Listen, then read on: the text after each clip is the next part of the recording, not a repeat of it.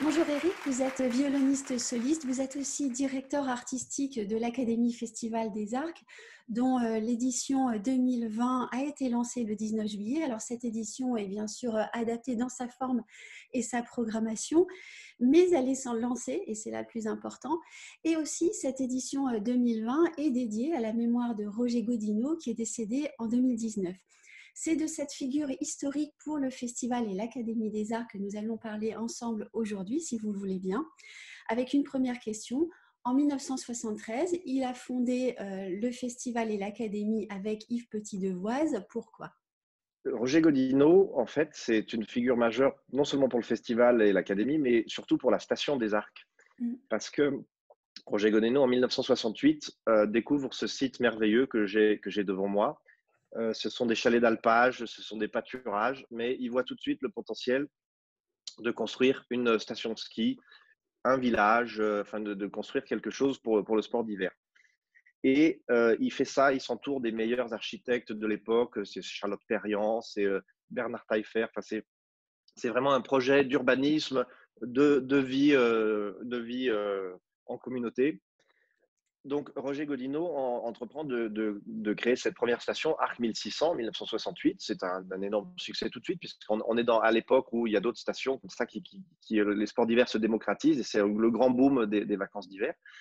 Et là, où vraiment Roger Godino est extraordinaire, c'est que quand on est promoteur, on construit des stations comme ça pour gagner de l'argent, grosso modo. Hein, c'est un business. Ben lui, quelques années après, il dit c'est pas suffisant moi, je veux que tous ces gens qui viennent, qui vont dépenser leur argent, se, venir pour se distraire, pour faire du sport, pour faire du ski, de la montagne, je veux aussi et également qu'ils aient accès à la culture. Et c'est là qu'on rentre dans une vision absolument extraordinaire, une vision humaniste, euh, puisqu'il décide non seulement qu'il va faire un festival de musique classique, mais que tous les événements vont être gratuits. Et depuis 47 ans que nous existons, tous les événements de ce festival sont gratuits, que ce soit euh, les concerts, que ce soit les conférences, que ce soit euh, les ateliers, les rencontres avec euh, le public, les concerts jeunes, euh, jeunes pour, les, pour le jeune public. Tout est toujours gratuit et c'est pas simplement de la, la vulgarisation ou de la, la, démagogie pour rendre la, musique classique accessible. C'est une, vraie volonté bah, d'offrir en même temps que le divertissement et le sport l'accès à la culture. Et ça, donc, c'était dès les premières années.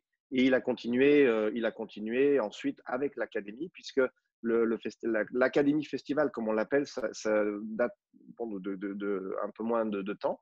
Euh, il s'est dit, j'ai tous ces artistes extraordinaires qui sont ici, euh, qui font du ski dans la journée, qui mangent ensemble et le soir offrent euh, ces concerts. Et ben, en même temps, ils vont offrir leur savoir à la jeune génération. Et c'est comme ça que l'Académie s'est créée.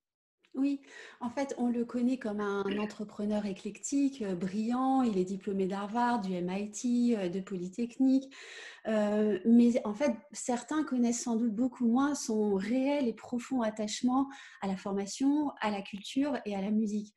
Est-ce qu'il était personnellement un grand mélomane? Euh, je crois qu'il a, écrit une dizaine de, livres, euh, Roger Godino, dont certains euh, consacrés à la Station des Arts. Et dans un de ses livres, il, dit que c'est en fait le festival qui lui a, qui est une de ses plus grandes fiertés, qui lui a appris à aimer la musique.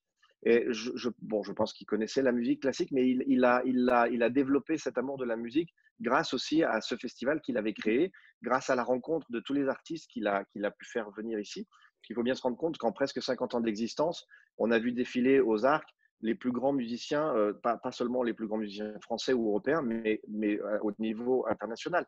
On, avait, on a eu Nikita Magalov, on a eu euh, Martha Argerich, on a eu le, le Quatuor Fine Arts, on a eu vraiment, c'est extraordinaire le nombre d'artistes qui, qui sont venus ici et qui forcément il a côtoyé chez lui au restaurant, dans son chalet. et c'est quelqu'un qui, bon, de toute façon, quand on, a un tel esprit d'entrepreneur, une telle culture générale, je crois qu'un jour, il s'était au restaurant, il s'était mis à faire un, discours sur la poésie grecque. c'est des, cerveaux et des personnalités qui sont complètement éclectiques, qui, touchent à tout. Et dès qu'il y a un sujet qui les passionne, ils sont à, 200% dedans.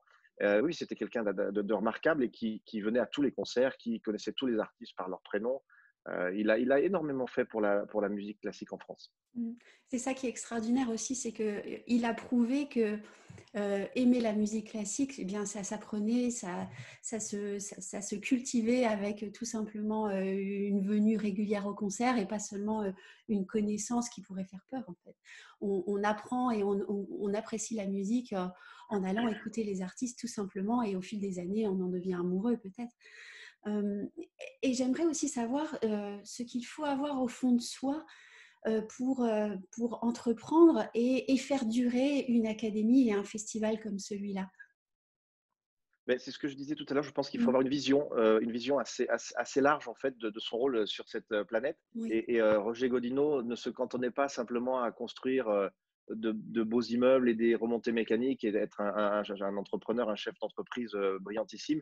Il avait également cette vision humaniste, c'est-à-dire que, que l'homme pouvait devenir meilleur euh, grâce, bah, lui, il avait décidé que c'était grâce à, la culture. Il a une fondation qui soutient la culture, qui soutient les sciences également. Ça a été, ça a été euh, un compagnon de route de Michel Rocard. Il s'est beaucoup investi dans la politique également, euh, mais toujours en essayant de, rendre la, vie des, citoyens plus intéressante et plus profonde que simplement mmh. bah, travailler, gagner de l'argent. Et, et donc, c'est ça, je pense, qui fait que son, idée première est tellement bonne et fondamentalement riche elle dure depuis maintenant presque, presque un demi-siècle. Alors, il faut dire qu'aussi, il a, il, a, il a su s'entourer et puis progressivement, le, ce festival, avec son âme et son ADN, a su elle-même, enfin, a su lui-même, ce festival, se, se renouveler et puis euh, progressivement coopter les personnes qui l'ont dirigé. Il y a eu Bernard Yanota et Michel D'Alberto pendant des années. Il, y a, eu d'autres personnes qui, chaque fois, en ramenant leur petit, euh, leur invention ou leur contact, ont gardé cet ADN et cette, euh, et cette euh, vérité, en fait. Il y a, aux arcs, il y a une vérité. C'est-à-dire que tous les musiciens qui viennent, ils pourront tous vous le dire, on, ils travaillent, on ne vient pas avec les agents, ils ne viennent pas pour, euh, pour gagner les cachets qu'ils ont mmh. habituellement dans la saison. Ils viennent parce qu'ils croient au projet, ils viennent parce qu'ils ils sont en famille, ils savent que ce qu'ils font, c'est utile à la société, pas seulement à, un microcosme qui va au concert de, de, de forme élitiste. voilà, ici, on a dans notre public, euh, quand on a des salles, alors cette année c'est un petit peu différent, on n'a pas des jauges comme d'habitude, mais normalement dans notre grande salle on a 700 personnes, 700-800 personnes. Vous avez une partie du public qui sont des mélomanes, pour certains qui sont devenus propriétaires aux arts pour le festival. Vous avez pour certains les stagiaires, puisque normalement nous avons une académie. Cette année, malheureusement, elle n'est pas là, mais on a 200 stagiaires qui viennent du monde entier, leur famille, donc c'est une partie du public.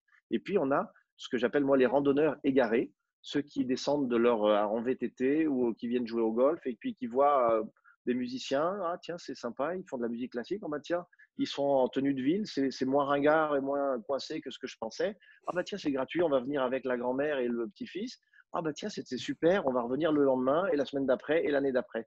Et donc, je crois qu'aussi une des grandes fiertés euh, de Roger Godinez, c'était d'avoir suscité un nombre de vocations de mélomanes. Je ne parle pas de musiciens, mais de mélomanes incroyable.